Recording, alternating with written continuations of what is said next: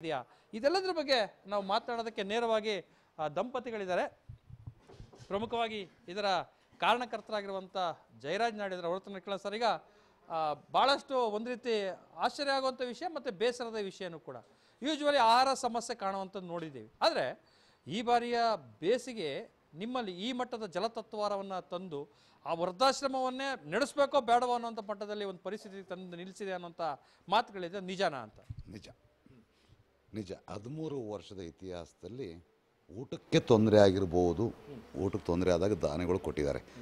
ಆದರೆ ಬೆಂಗಳೂರು ನಗರದಲ್ಲಿ ಈಗ ನನಗೊಬ್ಬನಿಗೆ ಅಲ್ಲ ಪ್ರತಿಯೊಬ್ಬರಿಗೂ ನೀರಿನ ಪ್ರಾಬ್ಲಮ್ ಆಗಿದೆ.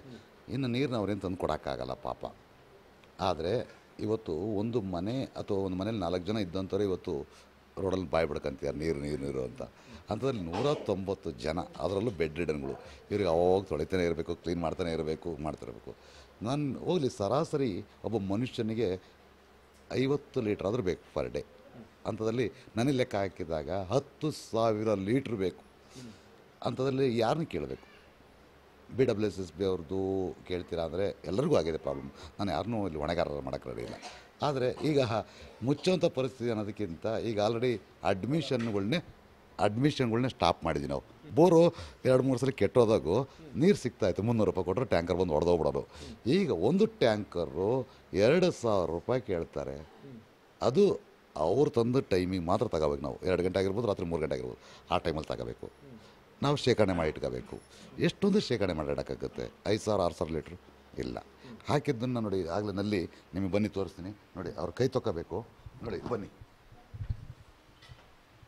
ಈಗ ಊಟ ಮಾಡಿದ್ಮೇಲೆ ಕೈ ತೊಗೋಬೇಕು ನೀರಿಲ್ಲ ಸರ್ ಇಲ್ಲಿ. ನೋಡಿ, ಇಲ್ಲ. ನಾವು ನೋಡಿ, ಡ್ರಮ್ಮಲ್ಲಿ ನೋಡಿ ನೋಡಿ, ಇಲ್ಲ, ನೀರಿಲ್ಲ. ಈ ಪಾತ್ರೆ ಹೆಂಗೆ ಇವ್ರ ತಟ್ಟೆ ಹೆಂಗೆ ತೊಳಿಬೇಕು ನನಗ?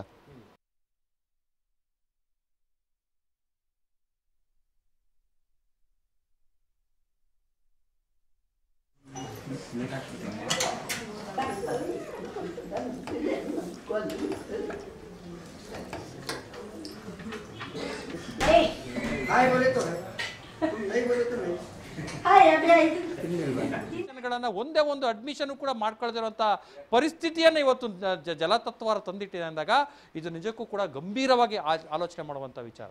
ಕ್ಯಾಮ್ರಾ ಪರ್ಸನ್ ಈರಣ್ಣ ಜೊತೆ Thomas B T V Bengaluru